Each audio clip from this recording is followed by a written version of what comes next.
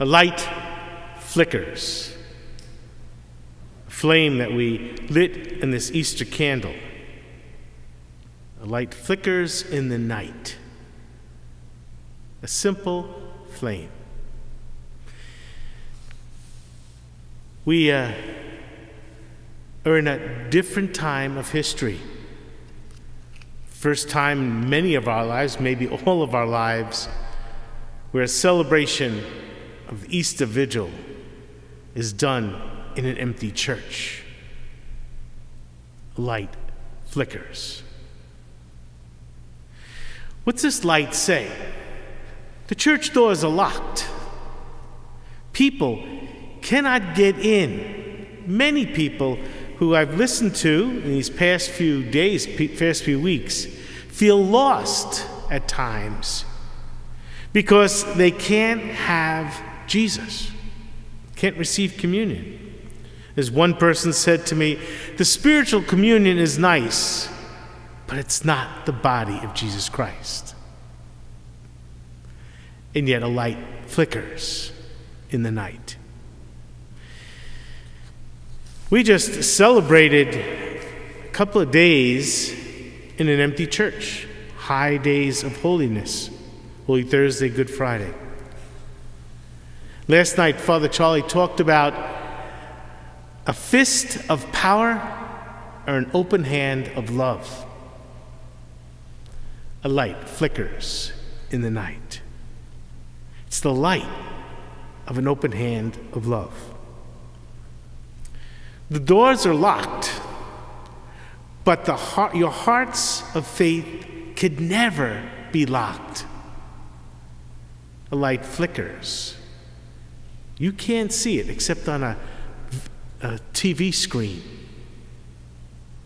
computer screen, an iPhone, whatever you're looking at. But you see a light. And that light that flickers is a light of hope. Church doors are locked, but the faith of your heart is never locked. Never locked. Even if you shut God off and don't let Him in, God still flickers a light in your heart, waiting for you to open your eyes. As we've listened to people on phone on telephones and we FaceTime people, all kinds of things. Families are trying to do things for Easter where you can maybe Zoom a family together. But you know, we're being creative, very creative. Very creative. Why? Because our desperation of faith could never be dimmed. A light flickers. It's a light of hope.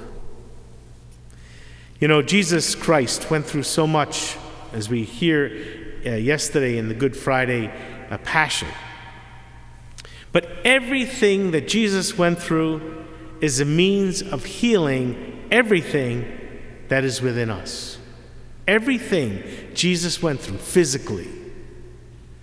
He's not saying, you know, I did all this. This is very, I did this for you. This is very difficult. No, everything he did, he went through, is a means of healing everything that is within us. Everything. Everything that darkness can overwhelm us. Things like that darkness that, that Jesus enters into and breaks in with the light. The darkness of fear and confusion. The darkness of the unknown. The unknown. When is this virus going to flatten out? When? How much longer do we have to wait? Am I going to lose my job? I already lost my job.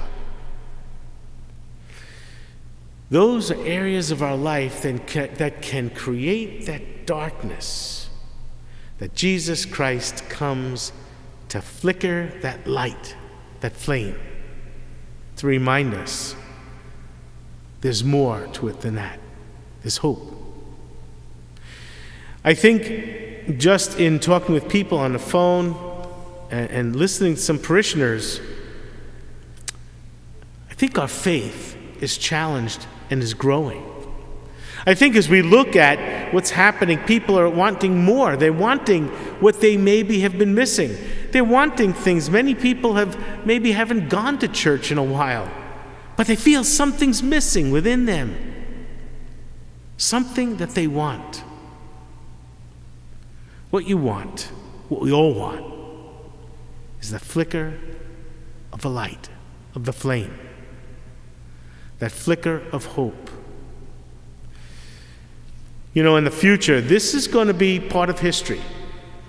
We're going to be telling many people down the road, years from now, our children, grandchildren, great grandchildren, about the Easter of 2020 when we couldn't go to church, when that opportunity was taken away from us. And we, we, meaning all of us, because as you can't come through those doors, we f- are frustrated in not letting you through those doors. We want you here. Our Easter is no different. And what stories are we going to tell our children and grandchildren about the Easter of 2020? It's Easter that we couldn't get in the doors. It's an Easter to remind us, to remind us clearly about the faith and the hope of the resurrected Jesus. That all that he went through is to heal everything within us.